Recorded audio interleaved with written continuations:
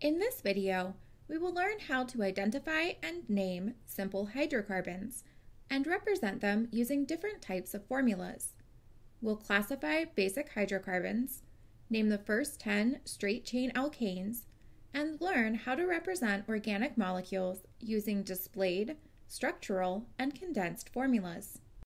Before we begin to classify and name compounds, it is useful to have a few ways to represent the compounds in question. One representation that we may be familiar with is a molecular formula. A molecular formula is a chemical formula that expresses the exact number and type of atoms of each element in a molecule. For example, the molecular formula of methane gas, the main component of natural gas, is CH4.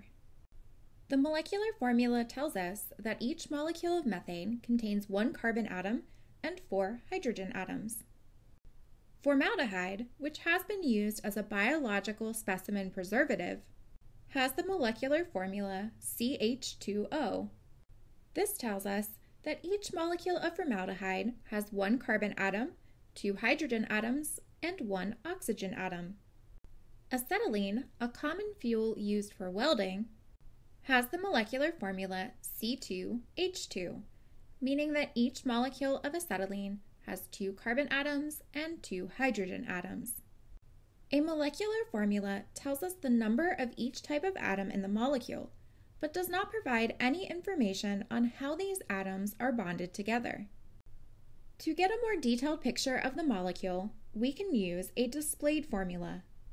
A displayed formula is a drawing representation of a molecule that shows all of the atoms and bonds. Bonds are represented by lines that connect the atoms together. In the displayed formula of methane, single lines connect the hydrogen atoms to a central carbon atom. Each single line represents a single covalent bond, a bond where two electrons are shared between two atoms. In the displayed formula of formaldehyde, two lines connect the oxygen atom to the carbon atom. This represents a covalent double bond, a bond where four electrons are shared between two atoms. In the displayed formula of acetylene, three lines are drawn between the two carbon atoms. This represents a covalent triple bond, a bond where six electrons are shared between two atoms. Displayed formulas show how the atoms in a molecule are connected but they are not necessarily the most accurate representation of a molecule. Displayed formulas represent molecules as flat with 90 or 180 degree angles between the atoms. In actuality, the atoms in these molecules are positioned so that the electron domains are at the maximum distance from one another, as explained by valence shell electron pair repulsion theory, or VSEPR. We won't go into VSEPR theory in detail in this video, but it's worth recognizing that displayed formulas only represent the connectivity of the atoms, not the geometry of the molecule. Now that we can represent molecules with molecular or displayed formulas, let's take a look at some hydrocarbons. Organic chemistry is the study of carbon-containing compounds, the simplest of which is a hydrocarbon, a molecule composed of only carbon and hydrogen atoms. Hydrocarbons may be classified as saturated or unsaturated. A saturated hydrocarbon contains only single covalent bonds. This means that each carbon atom will form four single bonds with four different atoms, and each carbon atom will form bonds with the maximum number of hydrogen atoms as possible. For example, a saturated hydrocarbon that contains two carbon atoms must contain six hydrogen atoms. The molecule contains only single bonds, and each carbon atom has formed four total bonds with four different atoms. Saturated hydrocarbons are also called alkanes. Unsaturated hydrocarbons contain at least one double or triple bond. As each carbon atom will not form four single bonds, an unsaturated hydrocarbon will contain fewer hydrogen atoms than a saturated molecule with the same number of carbon atoms. Shown are two examples of unsaturated hydrocarbons that each contain two carbon atoms. The unsaturated hydrocarbon on the left is an example of an alkene, a hydrocarbon with at least one double bond. The example on the right is an alkyne, a hydrocarbon with at least one triple bond. Alkanes, alkenes, and alkynes each have a generic molecular formula. For an alkane, the generic formula is CnH2n plus 2, where N represents the number of carbon atoms in the molecule. If an alkane has three carbon atoms, then it must contain 2 times 3 plus 2 hydrogen atoms and have the molecular formula C3H8. The generic formula for an alkene that contains only one double bond is CnH2n. If an alkene has three carbon atoms and only contains one double bond, then it must contain 2 times 3 hydrogen atoms and have the molecular formula C3H6. The general formula for an alkyne that contains only one triple bond is CnH2n minus 2. Therefore, an alkyne with only one triple bond and three carbon atoms will have the molecular formula C3H4. Hydrocarbons can further be classified as either aromatic or aliphatic. The term aromatic can be used to describe a number of organic molecules. But in order for a hydrocarbon to be considered aromatic, it must contain at least one planar, cyclic, carbon based structure. Planar meaning that that portion of the molecule is flat or sits on one plane, and cyclic meaning that the carbon atoms connect to form a ring. The ringed structure must contain alternating single and double bonds. This structure gives aromatic compounds unique electronic properties. Benzene, a compound used in the production of plastics, and naphthalene, a compound used for fumigation, are examples of aromatic hydrocarbons. The term aliphatic is used to describe all non aromatic hydrocarbons. This includes alkanes, alkenes, alkynes, and cycloalkanes. Now that we have learned how to classify hydrocarbons, let's focus on alkanes, the simplest hydrocarbon. Each of these displayed formulas represents a different alkane, but as they all contain single bonded carbon and hydrogen atoms, how do we indicate which alkane is which?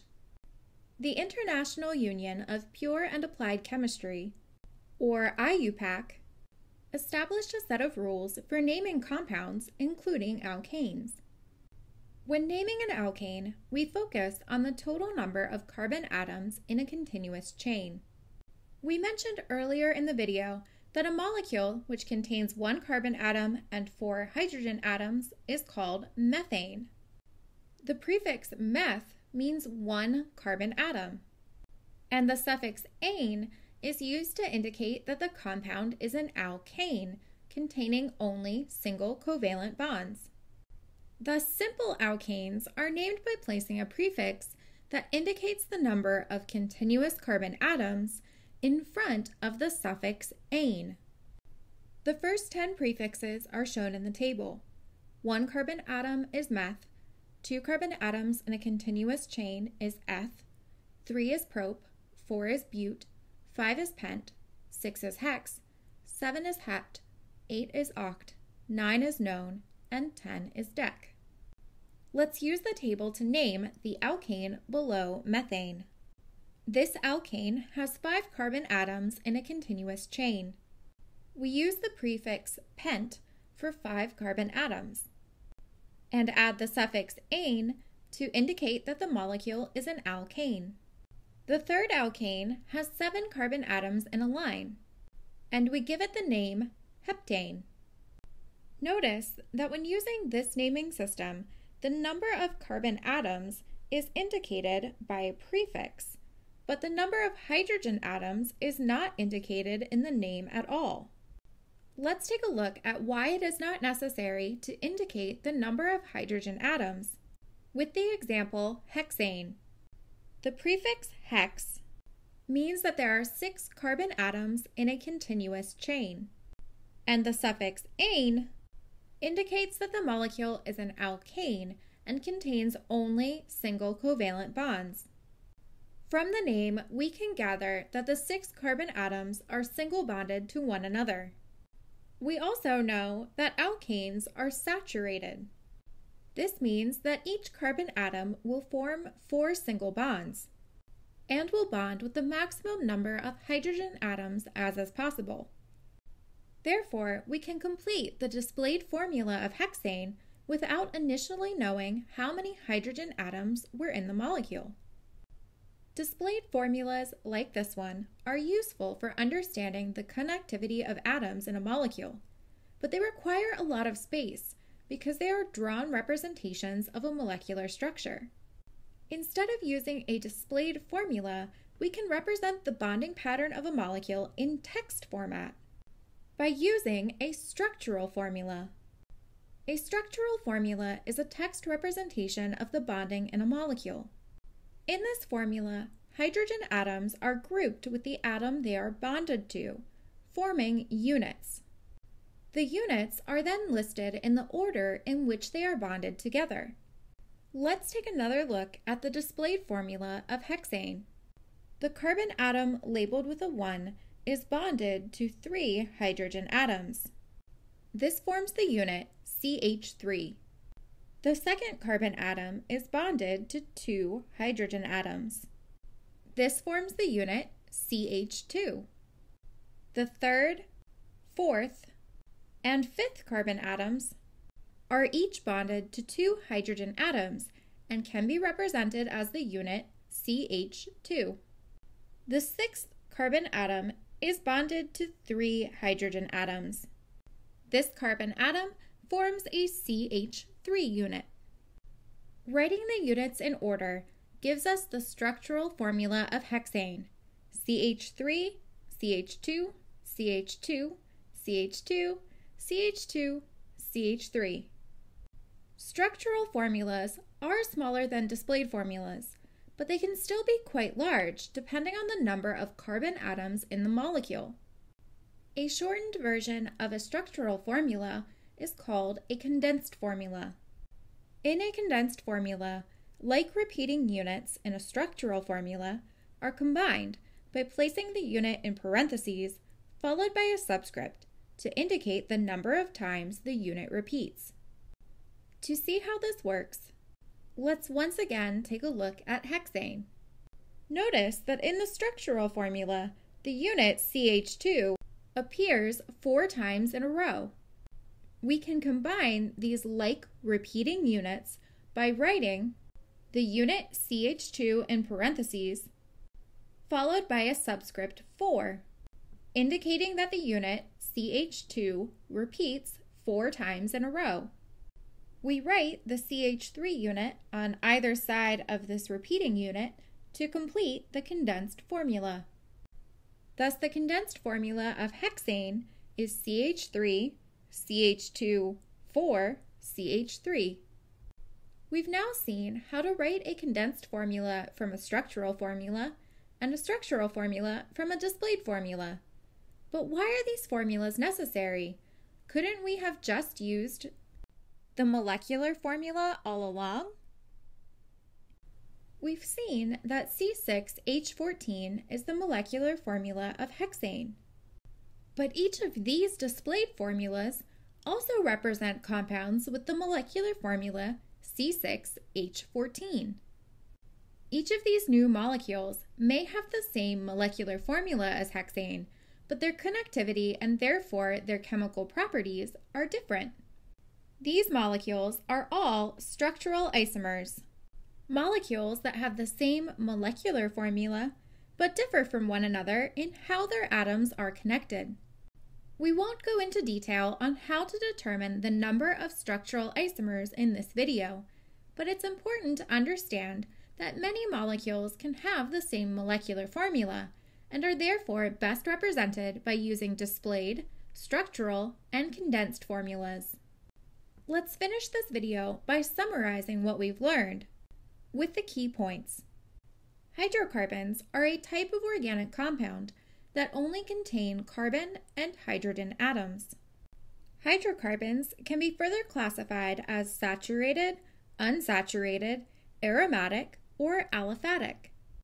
Alkanes are saturated hydrocarbons that have the general formula CnH2n plus 2. These compounds only contain single covalent bonds. Alkenes are a type of unsaturated hydrocarbon. They have the general formula CnH2n and contain at least one carbon carbon double bond. Alkynes are another type of unsaturated hydrocarbon. They have the general formula CnH2n minus 2 and contain at least one carbon carbon triple bond.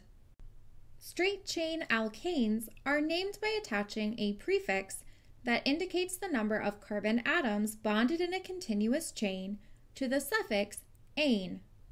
For example, CH4 is called methane, meth meaning one carbon atom, and ane meaning an alkane.